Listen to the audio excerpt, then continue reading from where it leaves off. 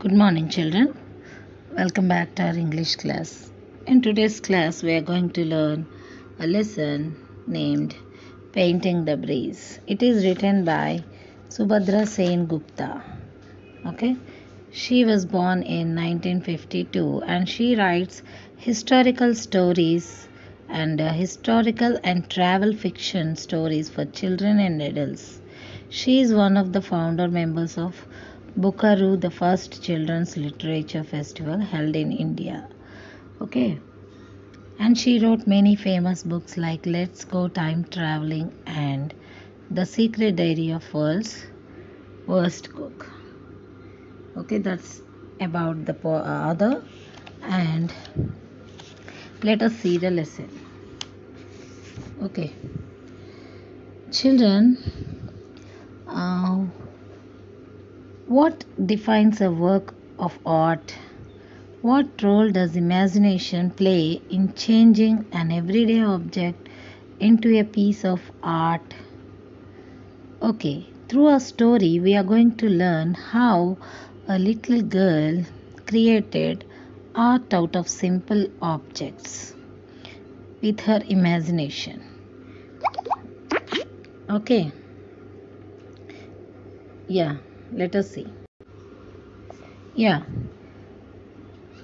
Parvati hummed as she worked. It was the first time in days that she had felt like singing. For nine year old Parvati and her older brother Lakshman, the last few days had not been easy. Their father lay ill. His body was burning with fever, and even the herbs their mother had given him had not helped. The money had finished first. Soon there was little rice and dal left in the kitchen. So here we are seeing one nine year old girl humming as she was working. Okay, but it was not the case before this day. Till yesterday, what happened?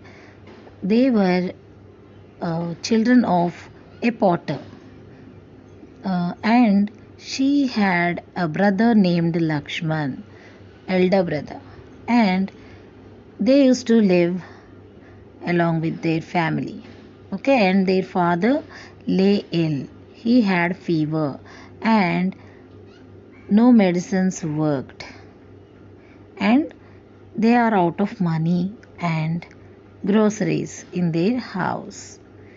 Let us see what happened. Unless they did something, they would have nothing to eat. After all, their father was just a potter and not a rich man. So, uh, here they said that their father was a potter and they were not a rich man. He was not a rich man. So, what did we understand? Now the situation came like this that they should work.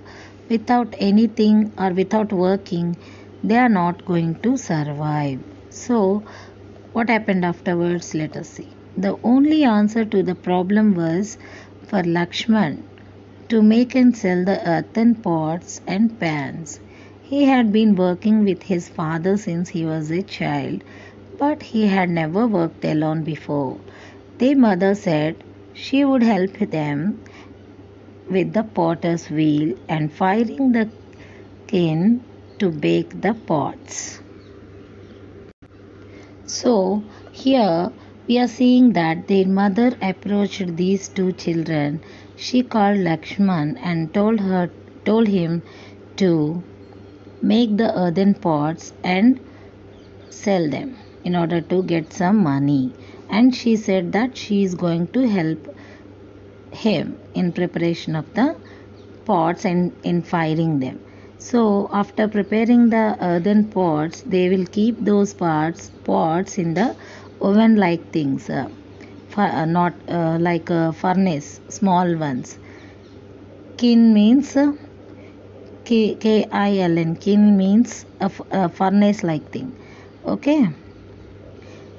She told Lakshman that she would help him. Okay. Lakshman and Parvati had worked out of the, walked out of the gates of their city, Pataliputra, at dawn and headed for the river bank. So, what did what did these two children do? Uh, after getting up early in the morning, they started walking out of the gates of the city Pataliputra. So, they were li- living near the city of Pataliputra and they started uh, walking out of the gates near the river bank. Okay, the oil lamps placed in the niches of the tall wooden gates were dying and the watchmen were dozing over their spears. Okay, so that means uh, till uh, all the remaining men and women in that city, all the people, villagers, they were still in a sleep. Okay, they were dozing. Next. So early in the morning, they started to walk near the river bank. Walking to the banks of the Ganga, they had collected the soft brown river clay and carried it back in their baskets. So, here, what did we understand? Because Lakshman was aware of uh, the area where he can get soft brown river clay because he used to assist his father while the while he was preparing the pots. So, in the preparation of the pots, Lakshman used to assist his father. So, he had knowledge of all these things. But only thing was, he did not have experience of making the pottery on his uh, alone. Okay. Okay, next see. See, let us see what happened afterwards. Then nervously they had shaped them into water pots and cooking bowls, lamps, plates, and vases. So they prepared them in several shapes. Many broke, some were out of shape, a few cracked when fired in kiln, but enough were left to sell. So, what happened while they were preparing? Some of them were broken and some of them were cracked when firing them in the furnace. And but still they could uh, get enough of them to sell. So yesterday they had bought rice dal and vegetables with their own earnings. So what did they do? They sold the pottery and with the amount they got they bought the rice and dal and vegetables for the family. Yeah. Today their father was free of the fever and there was a delicious aroma of food wafting out of the kitchen. So parvati sang as she worked. So now till now we were in flashback. The scene first the scene was a girl a 9 year old girl parvati was humming while she was working. We don't know what happened before uh, that. Before her singing behind her singing this story was there. Till yesterday this happened. And this is the scene of today that she is singing while doing her work. Till yesterday this happened today. We came into today now. Okay? She was singing because her father got well and some delicious aroma was she is enjoying the aroma of food which is coming out of the wafting means moving gently through the air. Okay? The aroma. So parvati sang as she worked that is why she was singing sitting on the edge of the country yard near the lane that went past their little thatched hut so she sat just near the lane outside the country yard. Okay, past their little thatched hut. Thatched hut means a hut with the roof of with a roof covered with straw and bamboo sticks. Okay, small hut. Next, let us see the next paragraph. Nobody had asked her to paint the pots, but she knew that the painted pots sold better. You could even ask for a few more copper panna for them and people would pay. So here we can see that the little girl, even though she was a nine year old girl, she was thinking like a businesswoman. She was brought up in a family of business, yes or no? Pottery. His father, uh, her father was a potter, and she know, she knew how to sell the things. And how can we get good amount of money? With smart work. Okay, hard work and smart work. She had an idea that if we paint on these simple pottery we can get more money for the same pot. Okay yeah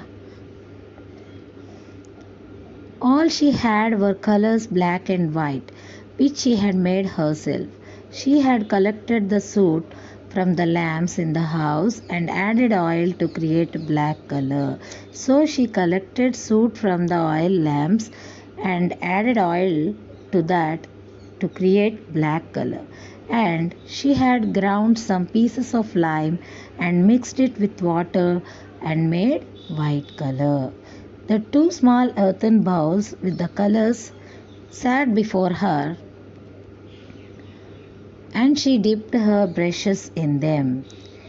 The brushes were twists of cotton and though and with these she drew her dreams on the water pots and vases.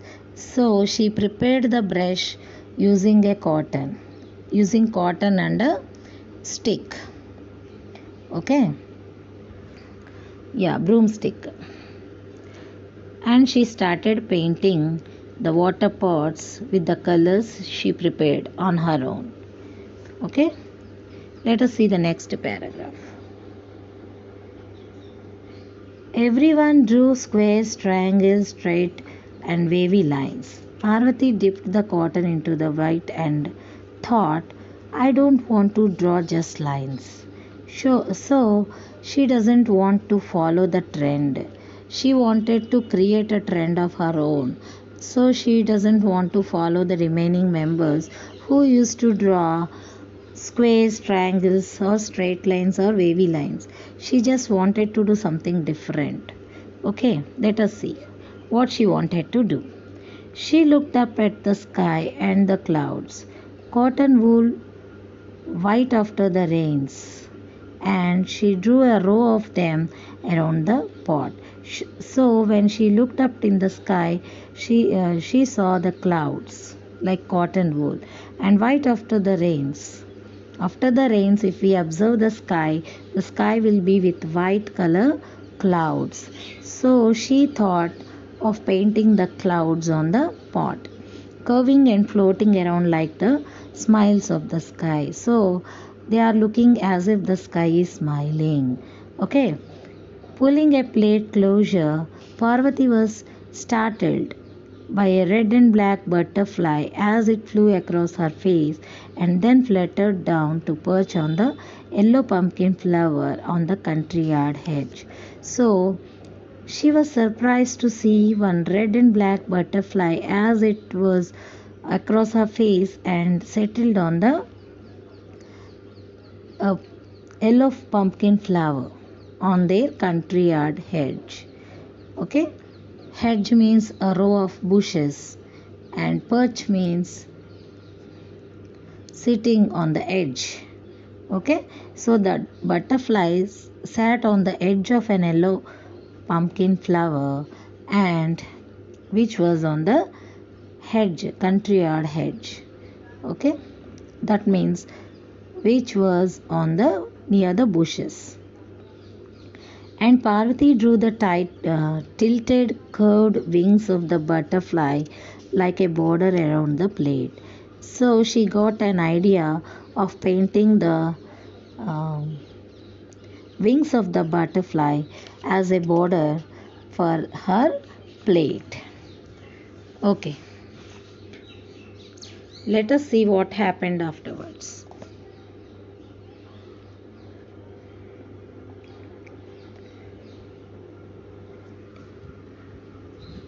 The clatter of horses' hoofs, the clang of cow bells, and the creak of bullock carts' wheels made her look up.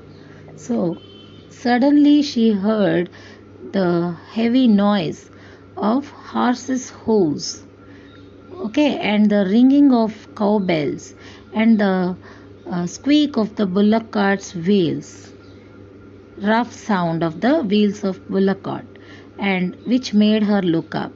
So, after hearing these noisy uh, things, she has uh, she looked up and she was eager to see what was happening. Okay, down their dusty lane, a bullock cart came swaying. Okay, what made her sit up and watch was the rich cloth covering the cart the bright curtains, and the two horsemen riding before it and two behind it. So, if we see any bullock cart, we will not be surprised and we will not be interested to find who was there in that cart. But what made Parvati watch that cart was uh, it was uh, followed by horsemen riding before and after. Okay Two horsemen were riding before the cart and two were riding behind it. And the cloths which were covering the cart were very rich. Okay. So that's why she wanted to see who was there in the bullock cart.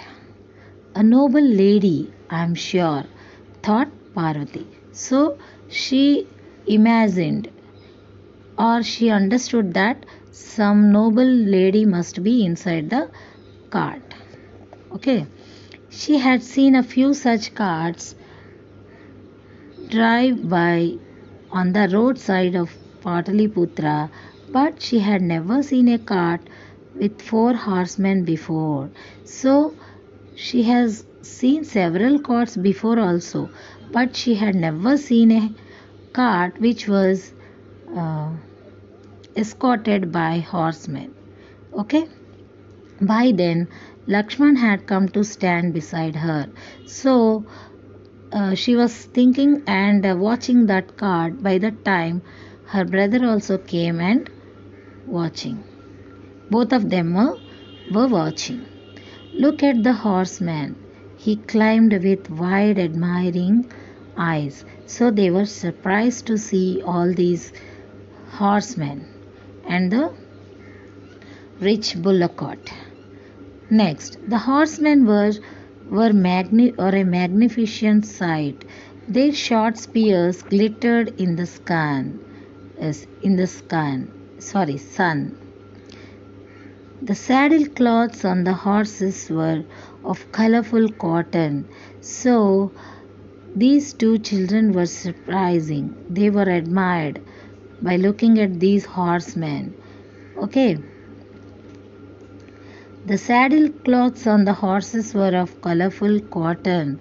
So the seats which were on the horses were also uh, colorful, made by, made by colorful cotton.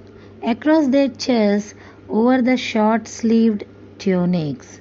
So they were the horse were also decorated colorfully. Okay. For the uh, okay, I'll read the sentence one more time. Across their chests, over the short-sleeved tunics, were the cross straps to carry the quiver of arrows. The broad leather belt was for the sword, and their headbands were tied across their forehead with jaunty brows. So these horsemen were also dressed up in colorful dress and with jaunty bows and uh, they had the quavers behind them. Next, soldiers, Lakshman guessed. These suddenly, then suddenly he ran back to the house, calling, Parvati, come here. So he went back to his house and called Parvati also. They understood that these horsemen must be the soldiers. Okay. Parvati, reluctant to miss the spectacle, said, What? So here Parvati was amazed seeing at that costly and rich cart and she was surprising. She was she does did not want to move from there. She wanted to see who was there in the cart. Help me again coming to the paragraph help me carry some of the pots outside so Lakshman went inside the house to carry the pots out of the house. He asked his sister's help. Next, working quickly, they laid a row of pottery by the side of the lane and waited expectantly for the cavalcade to draw closer. When the bullock cart was within hearing distance, Lakshman began to shout at the top of his voice, Pottery, O noble lady, come and see our pottery. So these children understood that they can sell their pottery to the noble lady and can get good amount of money if they were able to sell them. Okay, and they started shouting. They took a good amount of pottery outside the house and they were standing beside the wall and they waited uh, till that uh, cavalcade. Cavalcade means uh, um, like a possession okay of the horseman and the rich lady. They waited up to up to they come to uh, they come nearer to them and they started shouting Pottery, O noble lady, come your pottery. So they started shouting at the top of their voices. Lakshman shouted. Okay, then Parvati joined in. Vases, incense, incense soul, uh, sorry, wait. Incense holders, lamps, the best pottery in Pataliputra. O noble lady, so Parvati joined with Lakshman, shouting vases, incense holders, lamps. Incense holders means uh, agarbatti stands. Okay, small holes will be put to the uh, holder.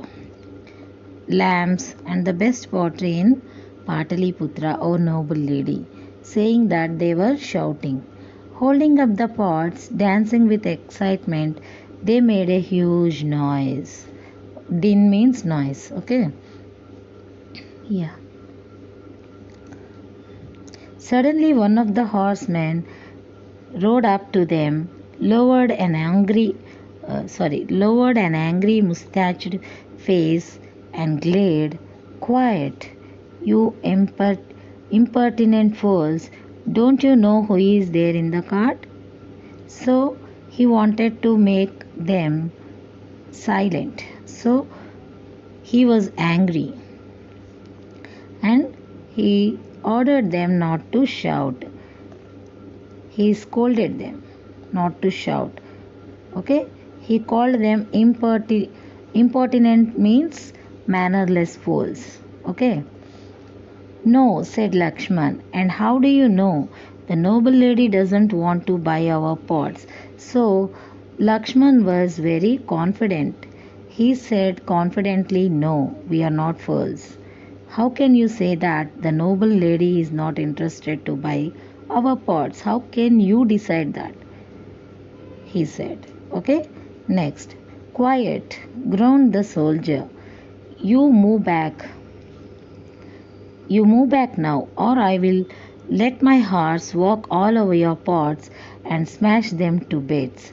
So now he was blackmailing uh, he was uh, uh, threatening them in fact okay if you don't move back he is going to make his horse walk all, all over the pots and smash them into bits. But don't you dare, Parvati stepped forward angrily. It took me all the day to paint them. So here comes Parvati with lot of courage. She was ordering the soldier, Don't you dare do that. Maybe you are a soldier, but you know how much time it has taken me to paint the uh, pottery? You don't you dare, don't you touch, don't you dare to touch them. Okay? She was also a courageous girl. Before the soldier could show them away or push them away, a curtain was twitched aside and a quiet voice said from the inside the cart, Go back, soldier. I want to talk to these children. Let them come here. So, uh, the soldier was about to pull them away, but what happened suddenly?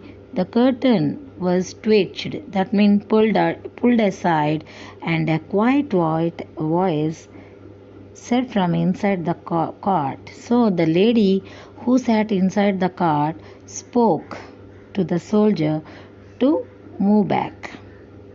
Okay? She wanted to talk to these children and she called them nearer to her. Okay. Children, I'll stop the lesson here. Till now, learn the meanings which are new.